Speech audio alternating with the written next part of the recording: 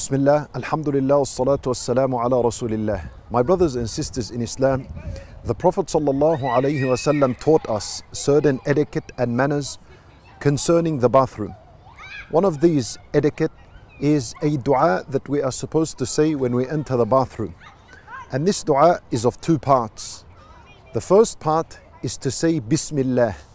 And this is a hadith narrated by Ali radiallahu anhu in where the Prophet sallallahu alaihi wasallam said, ستر ما بين أعين الجن وعورات بني آدم أن يقول أحدكم إذا دخل الخلاء بسم الله. And Nabi sallallahu alayhi wasallam said that uh, the concealment or the covering, the covering between the eyes of the jinn and the privates of mankind is for a person to say Bismillah when he enters the bathroom. So we are responsible to cover our privates from mankind and from jinn kind. How do you cover your privates from al jinn? By saying Bismillah. And how do you cover your privates from the eyes of humans? By keeping away or moving away from them, such as entering the bathroom, closing the door. And if you're in open space in a desert, for example, you go somewhere far away from the eyes of the people. That's the first half of the hadith.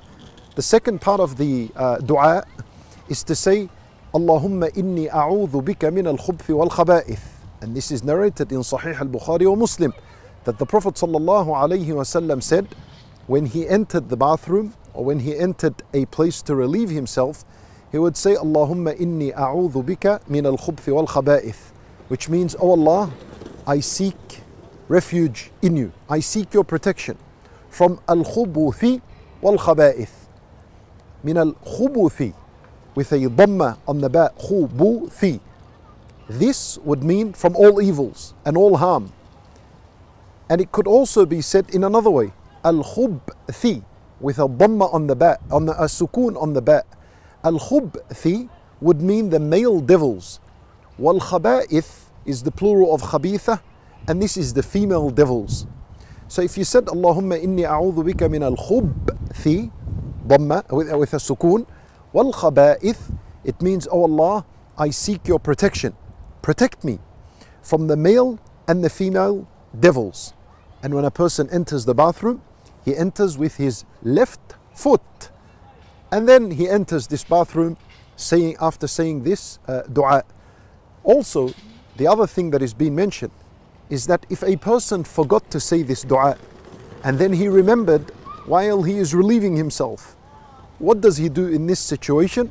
Al-ulama rahimahumullah, they said that he should say this dua in his heart and not upon his tongue because dhikrullah, the remembrance of Allah while relieving oneself and while a person's privates are uncovered is not allowed.